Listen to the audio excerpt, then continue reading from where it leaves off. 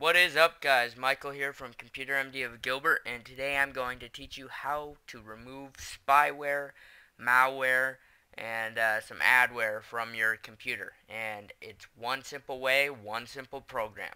That program is called Super Anti-Spyware. It works like a charm, literally. With a few click of a buttons, by the way, you can download Super Anti-Spyware going to Super Anti-Spyware, type that in Google, and their website will be the first on Google.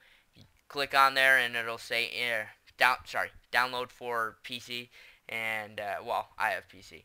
And you download it, and then literally, you open up the program, and with a few simple clicks of a button, few buttons, you can scan your computer for spyware, malware, adware, trojans, worms, parasites, and other potentially harmful software.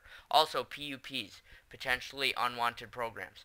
They Super Anti-Spyware is awesome for that. I've gotten rid of so many of those on people's computers. Seriously. Now, you have to select your scan type, and I always choose quick scan if I'm running it like just once a day for uh, maybe four or five days out of the week. But if you haven't run it in a while, I would suggest running a complete scan. And I would always run a complete scan maybe every week or two uh, just to make sure everything's completely checked. And then what you do is you click Scan Computer. It'll give you your disks and your drives that, um, that it will scan. And then usually it's right about the ones it excludes. So you don't always have to worry about, hey, that's excluded, I have to check that. Most times out of not, it knows what ones to check mark. Then all you do, you could do it on high boost, low boost. Uh, I'll do it on high boost. And uh, low boost just means it'll run slower, but the other programs on your computer will run faster while you're doing it. High boost is it'll run faster, but the other programs you're trying to use on your computer will run a little bit slower.